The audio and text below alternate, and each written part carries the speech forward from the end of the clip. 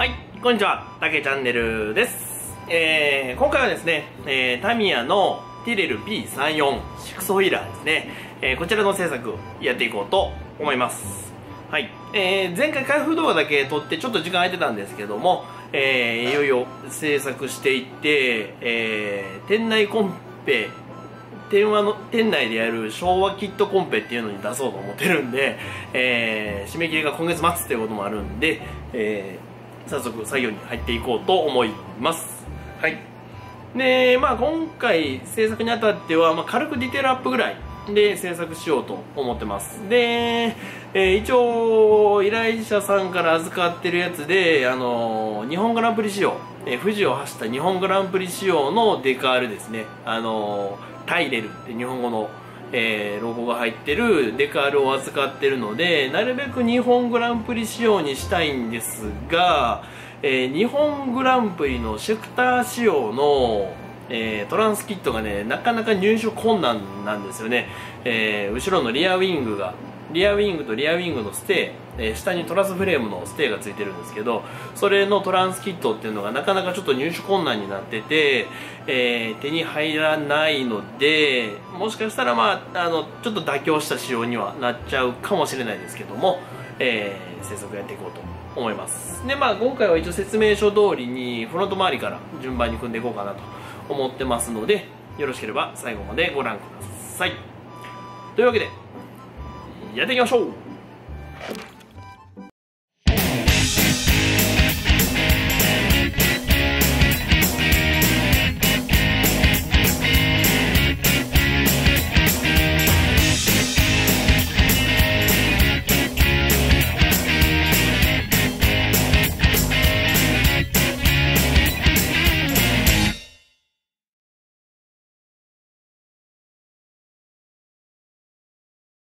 はい、それでは作業をやっていきましょう。で、えー今回はフロントフロントと言っていいか、えーモノコックと、えーこのフロント周りですね。フロント周りの組み立てをやっていこうと思います。はい。なので一応パーツをねザーッと切り出してきたので、えーまずこの辺をねある程度組めるとこまで組んじゃってで塗装していこうと思います。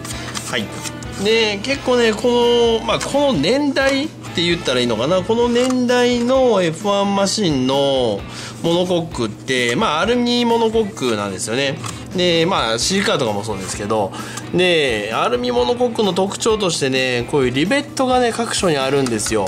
でこれをねどうするかっていう問題が結構大きくてまあこういうところとかね、まあ、軽くこれペーパー表面に当ててるんですけど当てたんですけどこんな感じでね引けとかがあったりして、えーがっつりねペーパーで削ってしまいたいんだけど削っていっちゃうとねこのリベットとかが邪魔になってくるっていう問題がどうしても出てくるんですよね。なのでまあある程度はもう多めに見るっていうのも必要なのかなと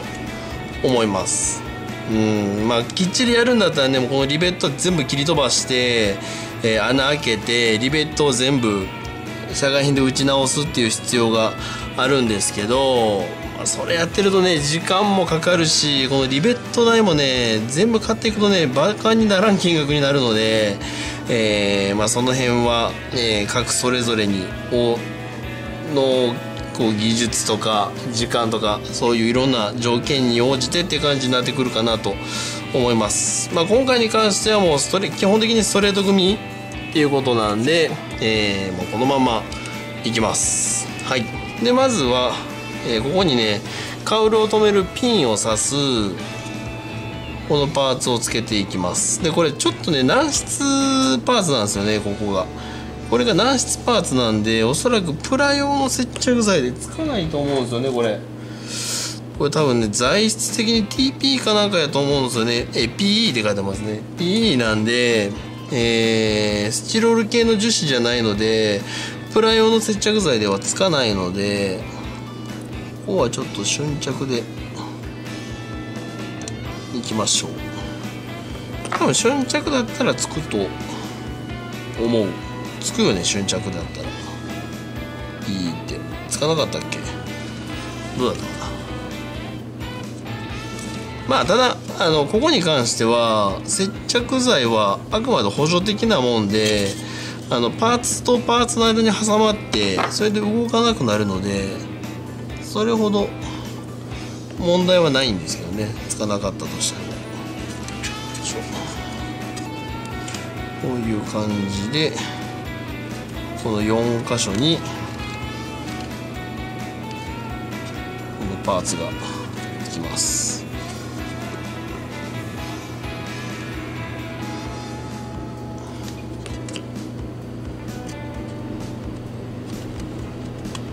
ちょっとこちらがってて申し訳ないですけどね。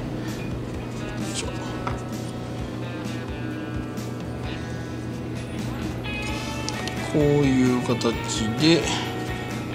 このパーツをつけたらこの下に、えー、このモノコックの下っ側の部分ですね。これを取り付けていきます。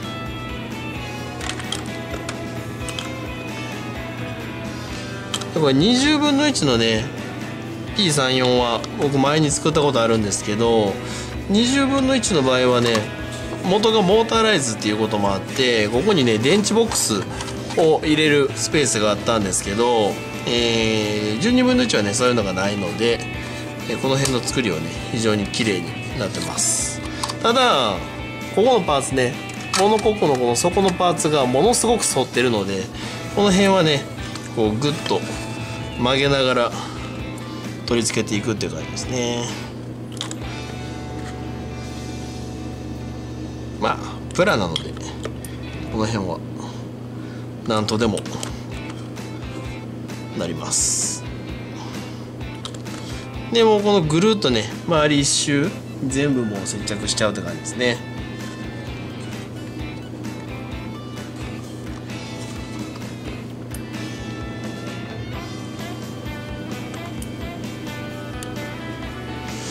この後塗ってしまうので多少の接着剤のはみ出しはさほど青問題にはならないのでしっかりね接着していきましょう。結局実写でもそうなんですけどこのモノコックに一番負荷がかかる部分なんでねこの接着は本当にしっかりとやっておく。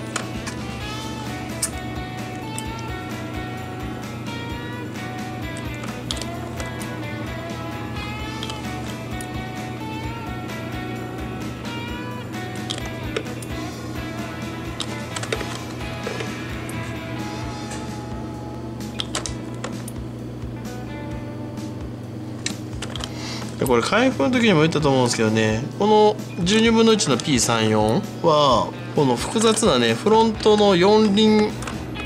4輪ソーダシステム。フロントステアリングを切るとねフロントの4輪が、えー、一緒に動くんですけどもそのシステムまで全部再現されてるんですよね。なので結構フロントの足回りが非常にややこい構造にややこしい構造になります。でね、えー、今回は、まあ、フロントのモノコックを組んだらそこで一旦終わりにして、えー、次回フロントのサスペンションを組むっていう感じの順番でやっていこうと思います。なんで動画を取り出すと灯油が灯油のストーブが アラームが鳴るのかな。こういう形で取り付けてあげる。でここまだちょっと反ってるんですけどここはこの後ね今度横のパネルを接着する時にギュッと押さえてあげればしっかりくっつくんでこんな感じにしてあげます。でこの裏側にねこのパーツがくっつくのでこれも先につけておきましょう。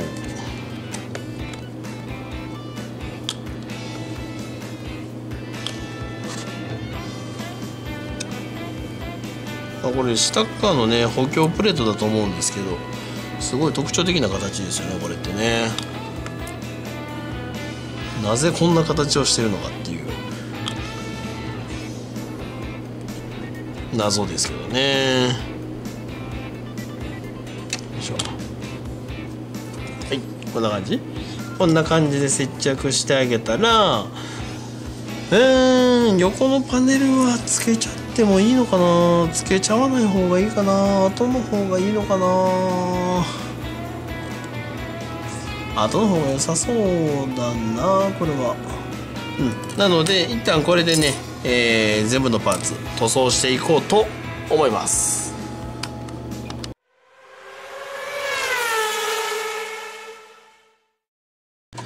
はい。そしたらね塗装してきました。こんな感じで。はい。で一応ね説明書の、えー、色指示も参考にしながら、えー、実写の写真とかを見て、えー、配色を決めました。で、まあ、モノコックとかこの辺のバルクヘッドとかこの辺は、え、アルミなんですよね実写も。アルミむき出しになるんで、え、ネオシルバーですね。ボーンペイントのネオシルバーで塗装しました。こんな感じね。裏側とかもこんな感じで塗装してます。で、えー、ちょっとねあの塗装する前に軽くヤスリでちょっとヘアラインっぽい傷を入れたのでよりねちょっとアルミっぽい感じになったかなと思います。ここやっぱりね引けがあるのはちょっとご愛嬌ということで。あのこんな感じにしました。まあ実物もね結構汚いんですよ。あの写真見ると。あのあんまり綺麗じゃないここまで全然綺麗じゃないぐらいもっと傷だらけだしボコボコボコしてるしっていう感じなんでまあまあこれぐらいでいいかなっていう感じですね。であとまあえー、っとアルミの鋳物で作られてるものマスターバッグと、えー、マスターシリンダーだったりとかそういうものは、えー、フラットシルバーを使って塗ったりとかっていう感じでやってあるので、え早速これらを組み付けていきましょう。でまずはえっとねまずは、えサスペンションの、えステアリングのラックですね。ステアリングのラックを組み立ててあげます。でまずこう組み付けてでここにこのピニオンギアを差し込む。一応説明書ではまっすぐになってるんだけどまあ俺はいいか。でこのピニオンギアは後で、えー、ステアリングとつないでちゃんと回転するので接着してしまわないように気をつけましょう。でこう接着して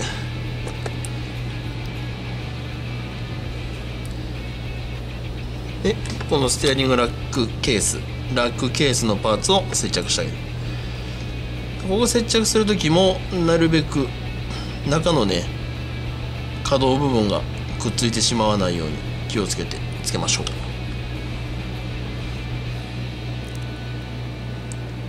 こういう感じね。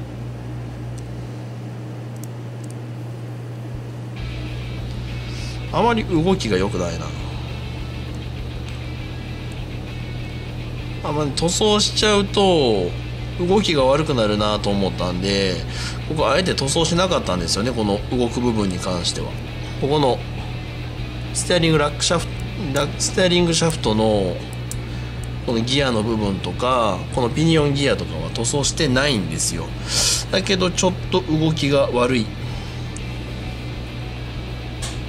でここにこの軟質素材のこのジョイントパーツを差し込む。ここもね接着しないっていう指示になってます。接着しないっていうかこの軟質パーツなんでね接着できないっていうのが正確正しいですけどこんな感じ？でラックを。組み立ててあげたらこれをモノコックにセットしてあげる。向き的にはこう向きか。ちょっと知恵の輪的に入れないとダメですね。はいこんな感じで知恵の輪的に入れてあげたらモノコックと接着して合体。こうつけてあげて。でその上から、えー、このパーツで押さえる形。で取り付け。る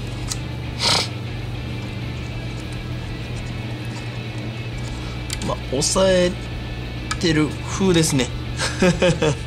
僕てっきりこのこのこの字のパーツでね ステアリングラックを固定するんだと思ってたんですけどステアリングラック単体でねこのモノコックに接着してこれはもうあのついてるフリですね。まあ、多分実写はこのこの字のパーツで接着してるんだと思うんですけど。このキットに関しては、えー、このこの字のパーツはついてるフリーですね。こういう感じ。こういう感じでつけてあげたら、えー、次にここに、えー、このペダル類ですね。ペダル類を取り付け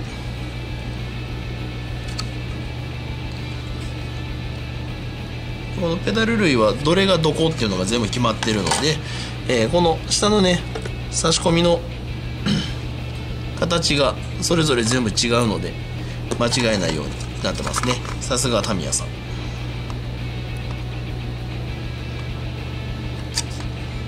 うつけるでこのペダルに関してはなんか写真を調べるとねあのシルバーの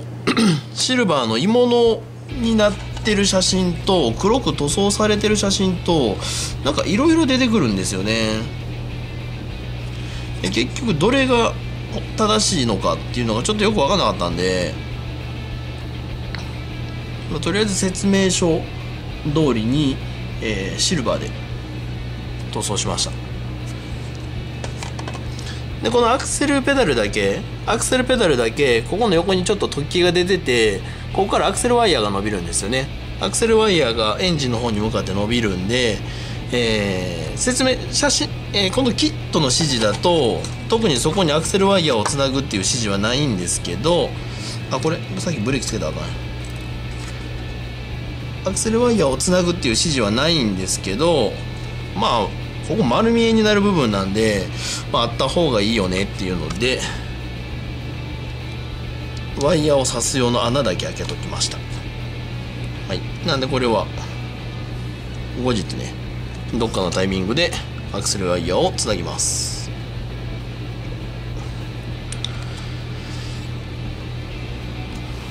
こんな感じこんな感じでペダルをつけてあげてでこれ説明書だとここにエッチングパーツを貼り付けってなってるんですよね。なんで一応エッチングパーツ用意したんだけどどうなんだろう？ない方がリアルのようなない方がいいような気がせんでもないんですけどね。どうでしょうかね。ちょっと悩むなこれ。まあ、これも僕の段取りミスでえー、撮影を開始する直前までこのエッチングパーツを確認してなかったんですよ。でエッチングパーツになんかモールドが入ってんのかなって思ってたら、えー、ただの板だったっていうのでどうしようかなって今今今悩んでるとこです。リアリアルタイムに悩んでるところで。俺これだけペッて貼ってもなんかあんまりああんまり見た目が良くないよなっていうのでどうしたもんかなっていう感じ、まあ、一応ゲートの処理だけしとこう。まあこの辺は後でもつけれるんでちょっとやりつつ考えます。結構ねタミヤのねエッチングパーツ他のキットの時にも言ったんですけどあのーエッチングパーツついてるんだけどこれ使わん方が明らかいいよねっていうのをね結構あったりするんですよ。なんでその辺ねようよう考えながらやっていこうかなと。で、えー、ここに消火器がつくんだけど消火器もなこれな配線の作業があるからちょっと後回しにしよう。はい。で次にえー、っとフロントのバルクヘッドですね。バルクヘッドを組んでいくんですけど、えー、まずこのフロントのバルクヘッドのパーツ。このパーツにマスターシリンダーをつけるんで、えー、マスターシリンダーにバンジョーボルトを接着。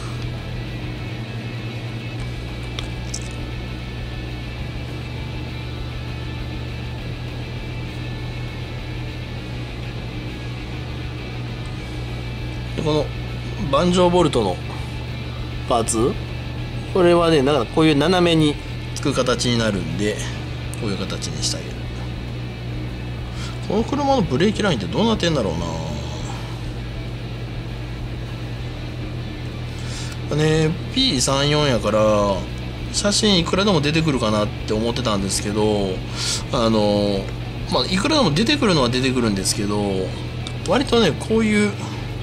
ブレーキ周りだったりとかこういう細かい部分の写真がね意外と少ないんですよね。なんでちょっとその辺が少し困るところだったりするんですけど。あこれ干渉するやん。ちょっと待ってよ。でこの盤上ボルトのパーツも 後でねブレーキホースをさしてあげようと思ってるんで、えー、穴開けだけしてあります。じゃちょっとフロントのねサスペンション組まないとそこの細かい作業はできないのでとりあえず穴開けてるだけですね。ここでも思ってたよりもスペースが狭いな。配線作業できるかなこれ。ま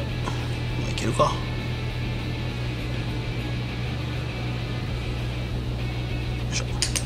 こういう感じでつけたらその横にこれがねちょっと何のパーツなんだかよくわかんないんですけどこういう黒いちっちゃいパーツがつきます。これもなんか実写の写真を見ると先端から配線がなんかちょろっと出てたんで配線を刺す穴だけは開けてます。で、えー、ここにこのリザーバータンクがつくんですけどリザーバータンクからちょっとね、えー、ブレーキの配管をつないでおきたいんで配線出すの忘れた。ちょっと待ってくださいね。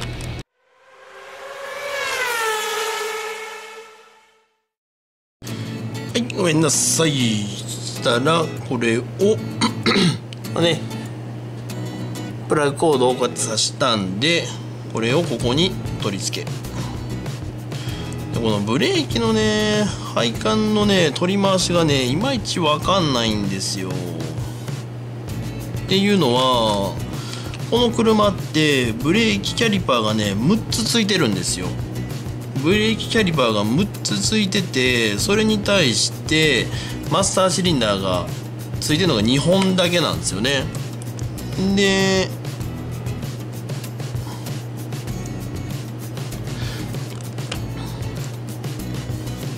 こうついててでリザーバータンクが全部で3つついてるんですよね。ってなってるんでこれがどういう仕組みになってるのかがね正直ちょっと分か分からんっていうのが正直なところでなんともねちょっと難しいんですよね。でこれ長すぎるな。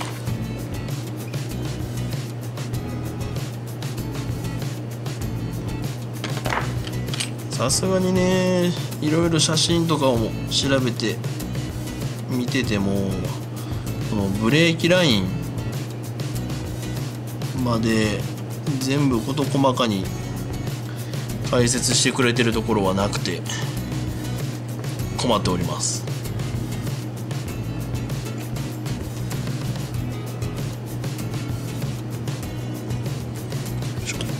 とりあえずね1本は、えー、ここのマスターシリンダーに伝えておこうかなと。でおそらくですけどどうなってんだろうなマジで。分からんな。うん分からん本当に。でこのもう一本がこっちなんかなと思っこっちの右側のマスターシリンダーかなと思ったんですけど盤上ボルトが盤上がね出てる方向が全く正反対の方向を向いてるんでこっち側にねもう一個マスターシリンダーがあのリザーバータンクがつくんでこっちは多分これがつながってんだろうなっていう感じなんでおそらくだからこいつはクラッチとかなのかなっていう感じだと思います。はい。ほんでここにの四角いパーツ。でこの四角いパーツ何かというとあのー、まあ、デカールよく見ると書いてあるんですけど、えー、消火器。消火器を自動で噴射する装置のコントローラーみたいですね。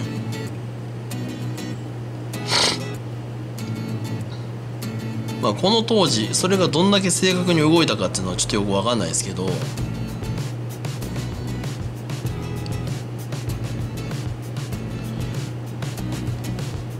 おそらく G とかそういうのに反応して自動で消火器を噴射するっていう機構がついてたんじゃないかなと思います。はい。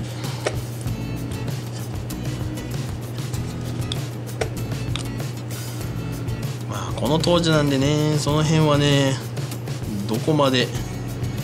効果があったかっていうのはちょっと微妙なところではありますけどね。ここにも消火器。がつきます。これねライフ最初 life support かなんかかなと思ったんですよね。あの車が火に包まれた時にドライバーに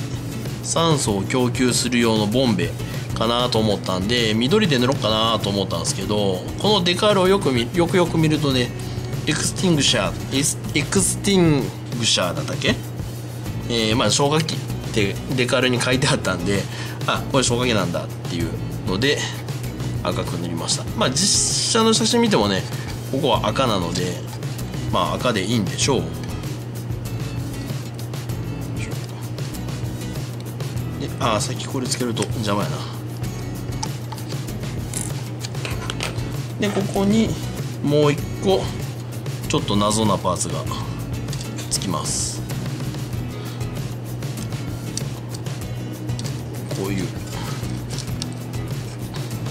でこれもねこの黒いパーツこの黒いパーツもこの写真を調べるとこのレースによってね形が違うんですよね。でまあ基本的にはこういう丸い筒みたいな形からちょっと太めの配線がピョコピョコっと出てるっていう感じなのでおそらくキルスイッチだと思います。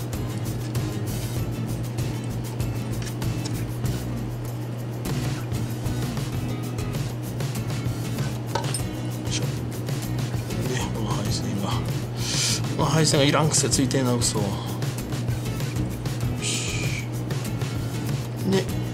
このパーツがこの消火器を避けるようにしてここにこうつくわけですね。このフロントバルクヘッドがね。で裏のこの部分ととここの部分で接着と。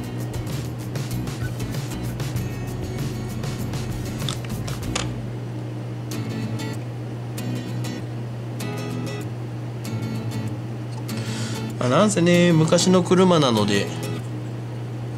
もう構造がねすごく武骨ですよね。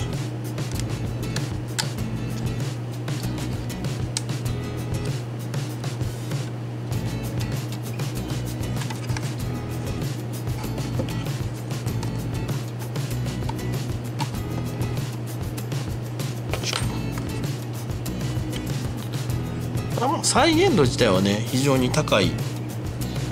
という評価が高いキットなのでその辺はねもうタミヤを信じてサクサク組んでいきましょう。こ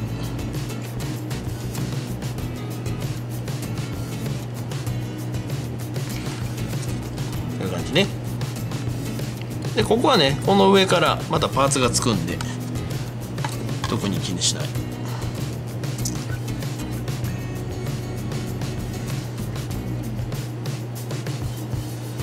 でこっちにもリザーバータンクがつきます。でさっき言ってなかったんですけどリザーバータンクはあの中にねブレーキフルードが入ってるはずなのでもともとシルバーだったんですよね成型色は。成型色がシルバーだったんでシルバーだったかなシルバーだったと思うので、えー、一回白に塗って、えー、EX ホワイトで白に塗ってでマスキングして下半分下半分に、えー、蛍光イエローと蛍光グリーンを混ぜたもので、えー、ブレーキフルードを塗装してでその上から、えー、セミグロ、えー、フラットクリアと EX ホワイトを混ぜたものを上から重ねて、え、ちょっと半透明な感じに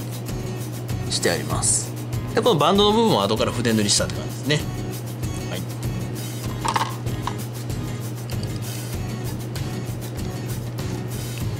で上をここにセット。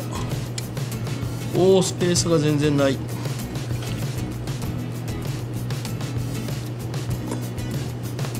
で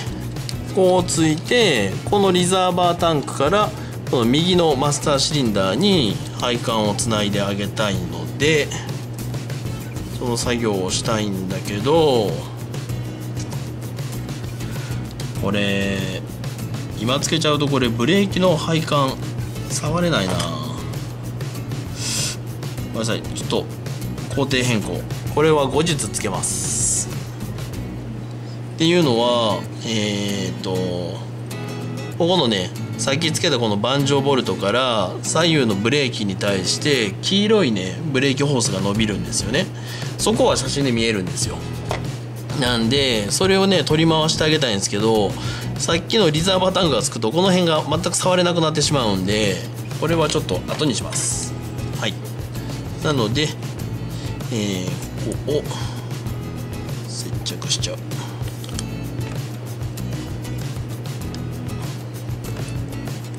この横のパネルもね本当は接着しない方が後々作業はしやすいとは思うんですけどただ次の工程フロントのサスペンションを組む工程の時にこのパーツの上にパーツを接着するので多分今の時点でつけとかないとね後が厄介になる。